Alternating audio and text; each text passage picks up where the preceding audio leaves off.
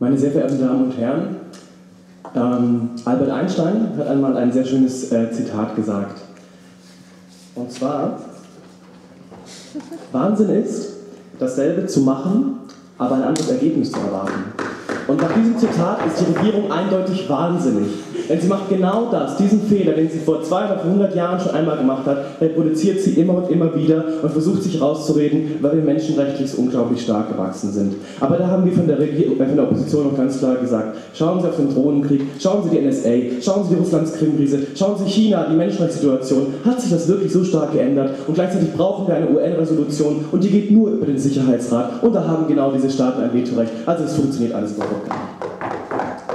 Ich möchte aber noch auf meine Vorrednerin eingehen. Meine Vorrednerin hat gesagt, dass ähm, die Staaten, die westlichen Staaten kein Interesse daran hätten, Länder arm zu halten. Genau das tun wir andauernd. Wir haben ein großes Interesse, Länder arm zu halten. Wir haben ein großes Interesse aus einem kapitalistischen Interesse daraus, Länder arm zu halten, damit wir reicher werden. Das ist genau der, der, Mechanismus, der immer weiter funktioniert, der diese Länder ja unten hält, der diese Entwicklungshilfe, äh, der diese Entwicklungshilfe erst nötig macht. Und deswegen haben wir die auch. Und zugleich die Terrorismusreduktion. Das ist nochmal ein ganz entscheidender Punkt, der ganz interessant ist. Denn was machen wir? Wir gehen gegen islamistische Gruppen vor und gleichzeitig bringen wir in das Land Islam unser Wertebild ein. Ja, gerade das legitimiert doch die Al-Qaida-Propaganda. Gerade das, dass diese Länder eben nicht selbstbestimmt sind, sondern eben anderen, anderen Opfer und anderen gesagt wird, was sie im Prinzip falsch gemacht haben, das passt doch genau in diese Al-Qaida-Psychologie, die sie dadurch noch stärken.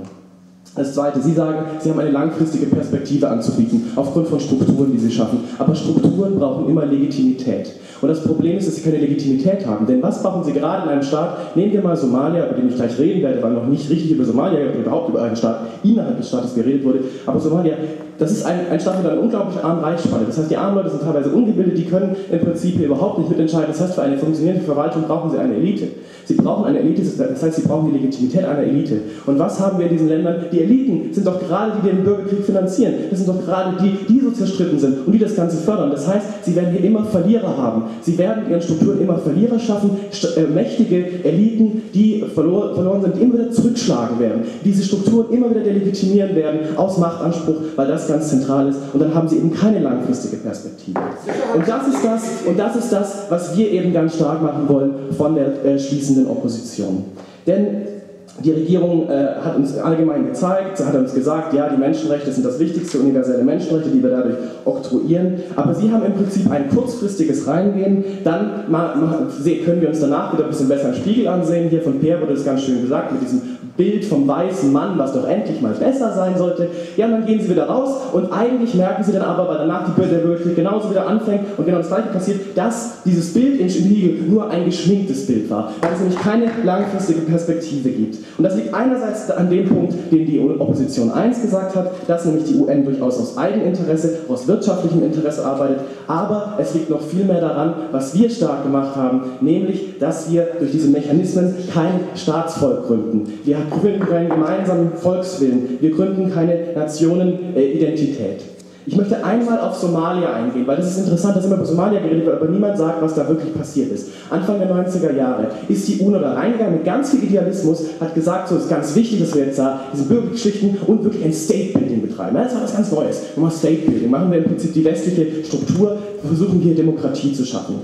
Und dann hat man sich da ganz lang mit eingemischt, hat auch wirklich in, in, den Krieg, ist man als Kriegspartei mit reingegangen. Und das Problem war, wenn man als Kriegspartei mit reingeht, dann ist man im Dschungel. Man ist im Dschungel und im Dschungel wird man zum Tier. Und das ist das Problem, dass man im Prinzip hier zu einer Kriegspartei wird und hier im Prinzip den Übersicht, die Übersicht völlig verliert. Und was ist daraus geworden? Die haben am Ende einen Rebellenchef unterstützt, der hieß, soweit ich weiß, Adebisi. Und dieser Mann hat sich aufgespielt als großer Demokrat.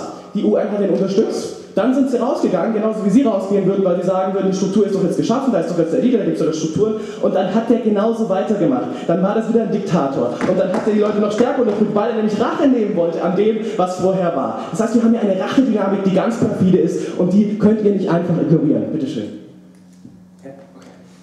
Das Problem oder genau der Unterschied zu dem, was, was du hier an dieser Stelle erklärst, ist doch, dass wir unsere eigenen Leute reinstecken äh, wollen, statt hier irgendwie so Proxy-Warlords zu haben. Und genau das ist doch der Unterschied, der diese Stabilität schafft. Was ist bei dir besser, wenn wir einfach diese Stabilität lassen, anstatt sie vielleicht nur für 40 Jahre zu besitzen? Das Problem ist, dass genau das diese kurzfristige Perspektive. Warum sollen die Menschen einen Amerikaner oder einen Russen irgendwie als legitim ansehen, der da die Verwaltung führt? Warum soll das, warum soll das tatsächlich Legitimität haben? Nein, was doch wichtig ist, ist, dass die, die Zivilbevölkerung, dass sie aus der Bevölkerung Menschen hier im Prinzip holen. Und das ist das Problem. Aus der Bevölkerung ist es aber eine Bürgerkriegsbevölkerung. Und da sind alle im Prinzip auch mit drin. Da haben alle Verwandte verloren. Da haben alle im Krieg mitgemacht. Und genau das ist aber der Punkt, dass wir hier sagen, entweder Sie holen sich Menschen aus der fragmentierten Gesellschaft, dann haben Sie das Problem des Rückschlags. Oder, was Sie, was Sie äh, befürworten, Sie holen sich Menschen von draußen, aber dann haben Sie das Problem, dass es keinerlei Legitimität gibt, weil es eben nicht von innen kommt. Weil es eben nicht von innen kommt. Und deswegen sagen wir, Vermittlung und Entwicklungshilfe sind die besseren, sind die eindeutig besseren Methoden.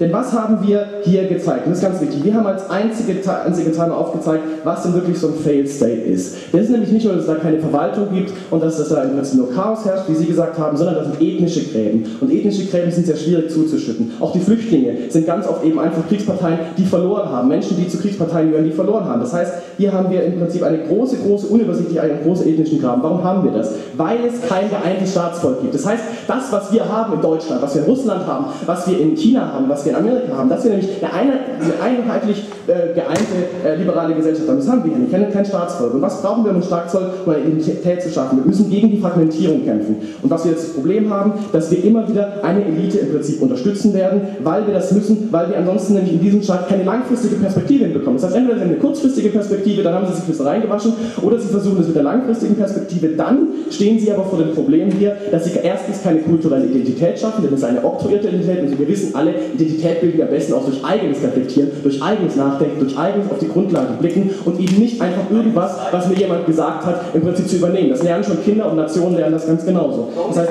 wie legitimiert sich das State Building? Entweder das legitimiert sich aus Menschen aus der Bevölkerung, die aber Teil des Problems sind, die sind eben genauso in diesem polarisierten Kampf verstrickt, oder wir nehmen Menschen raus aus der äh, fragmentierten Gesellschaft und dann haben wir das Problem der Legitimation. Das heißt, Menschen werden bei ihnen immer verlieren, das ist der Punkt. Menschen werden immer verlieren. Die aktuell Mächtigen, die verloren haben, die sie entmachten, die werden umso stärker zurückschlagen, die werden wir im Prinzip immer weiter legitimieren. Und daher sagen wir, dass Entwicklungshilfe und vor allem Vermittlung viel wichtiger sind, als wenn wir unsere Strukturen hier aufoktroyieren. Dankeschön.